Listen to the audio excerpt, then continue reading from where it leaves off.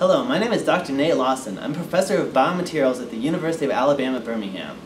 Hello, my name is Dr. Augusto Robles. I am a professor of operative dentistry at the University of Alabama at Birmingham.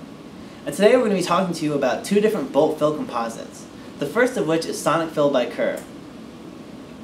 This is a bulk fill composite that may be placed in up to 5 millimeter increments. It is placed into a vibrating handpiece that allows this 83.5% filled material to flow. For the second restoration, we will use Tetric EvoCeram, which is a bulk fill composite by Ivoclar. This is a highly filled composite that can be placed in 4 millimeter increments. For this restoration, Sonic bulk Fill will be placed into a DO restoration on tooth number 30. Prior to placing the restoration, the two-step self-etch bonding agent OptiBond XTR will be placed. The self-etching primer is placed and carefully air-dried. Next, the adhesive is applied with vigorous agitation, and the solvent is evaporated with air application. Finally, the adhesive is light cured for 20 seconds. The restoration has a depth of 4 millimeters, so the entire restoration may be placed in bulk. The Sonic Fill composite is extruded into the preparation using the vibrating handpiece. The tip of the handpiece is placed into the depth of the distal box and slowly moved mesially to the occlusal portion of the preparation. The tip remains in the bulk of the composite to prevent the development of voids within the restoration.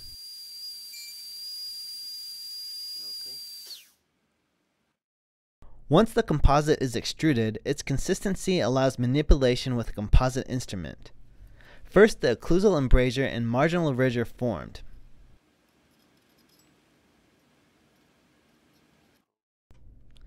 Next, the operator is adapting the material to the enamel margins.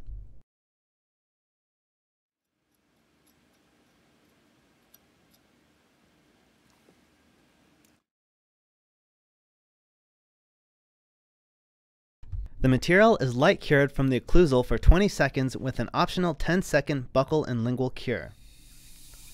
Finishing of the restoration is performed with an OS1 burr on reduced speed.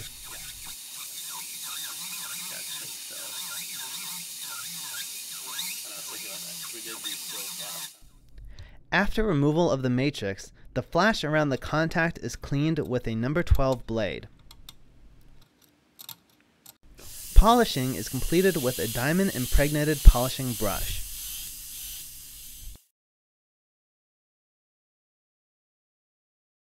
The second restoration will be placed with Tetric EvoCeram bulk fill. First, the universal adhesive, Adhese Universal, is placed in a self-etch mode. The solvent is evaporated and the adhesive is light cured for 10 seconds. Both the mesial and distal box in this preparation are 4 millimeters or less, so the preparation is filled in bulk with Tetric EvoCeram bulk fill. First, the occlusal embrasures and marginal ridges are formed. Next, the operator is adapting the material to the enamel margins.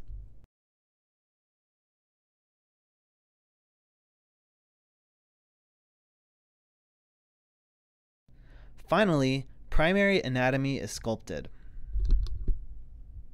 A light curing unit with over 1000 milliwatts per centimeter squared was used.